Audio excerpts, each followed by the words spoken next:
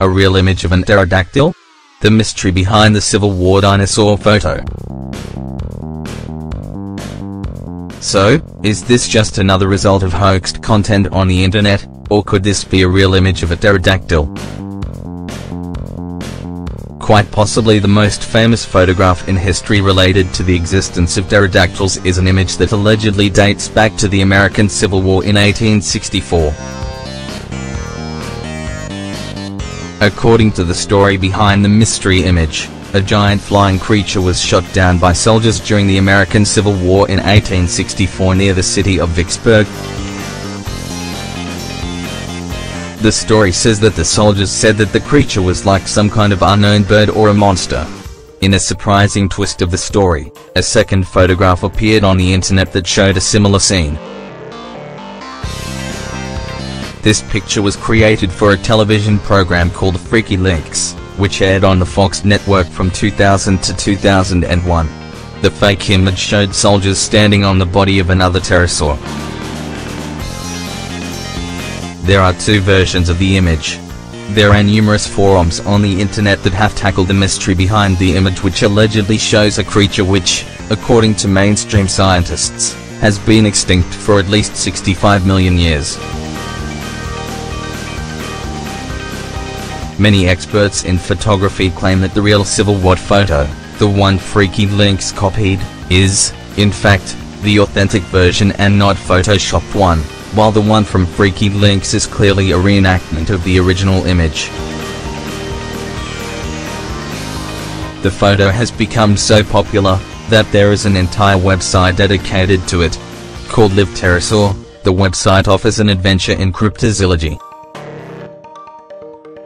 According to the website, the ideas presented in this Live Pterosaur site relate mostly to eyewitness accounts, real-life encounters with creatures called prehistoric or pterodactyl-like. Expect few references to fossils. Enter these pages with an open mind and compare points of view.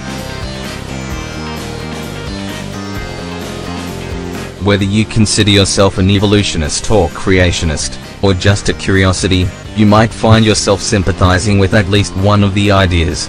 If you leave this site disbelieving in living pterosaurs, however, know that some people do believe in living pterosaurs. Intelligent, educated people, can disbelieve in total extinction of pterosaurs.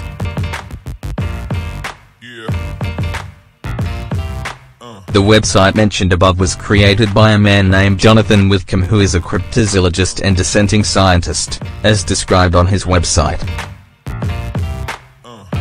Whitcomb offers a great deal of information about the extinct creatures and a number of stories of alleged sightings of pterosaurs.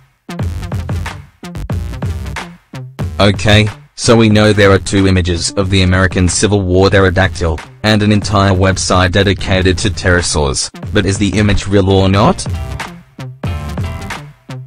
According to the website Modern Pterosaur, the first image, the one Freaky Links chose to falsify is real for a number of reasons explained again by Whitcomb. According to the author, at first the wings of the pterosaur looked way off, and some people said that they looked like parts of a canoe. However, a man who supposedly knows about canoas contacted Whitcomb via email to speak about the Civil War image saying, I'm 67 years old and remember this photo from when I was young. I've canoed all my life. I've owned several of them. Those aren't halves of a canoe. Too narrow, too shallow. And not a dugout canoe. Furthermore, as noted by Whitcomb, the solar shadows tie the soldier's boot to the animal, and a number of details in the head, neck, and other areas those correlate well with the anatomy of a pteranodon. However, numerous skeptics like Loren Coleman, an American cryptozoologist who has written over 40 books on a number of topics, including cryptozoology. According to Coleman the image of the pterosaur is clearly a fake. Others seem to agree with Coleman.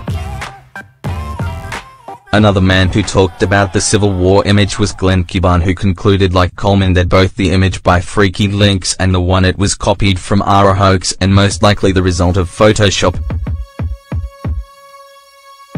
But, despite the heavy criticism it has received, the old photo, now called PTP, was supposedly declared genuine by two scientists, in January of 2017. However, Skeptoid seems to have solved the mystery behind the image. As noted by Brian Dunning, in his article titled The Civil War Pterosaur, for it turns out drumroll please that the mystery of the PTP photo is one that has a verified solution, one which so many of these people struggling to prove it or disprove it overlooked.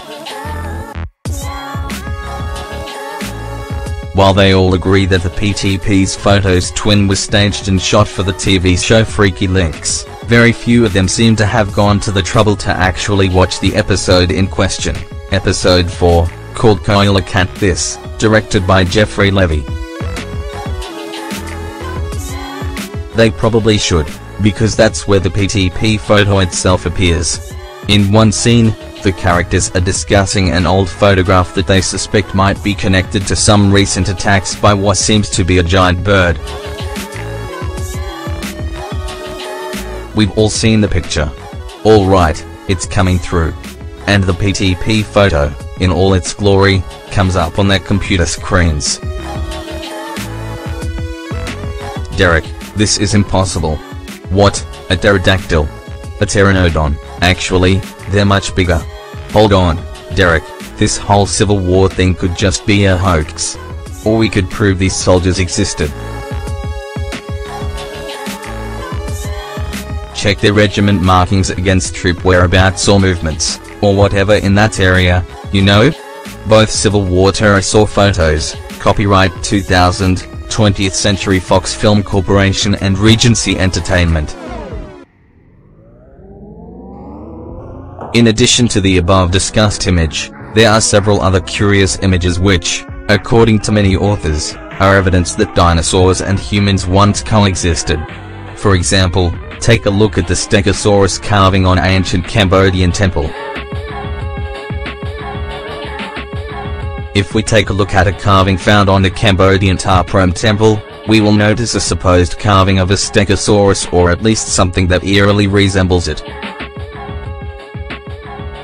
The temple was built around the 12th century prompting many authors and researchers to suggest that dinosaurs and mankind coexisted not long ago. Then there's this image. Discovered in Dawson County, Montana, a Triceratops browhorn has been controversial dates back to around 33,500 years, officially challenging the idea that dinosaurs went extinct some 66 million years ago.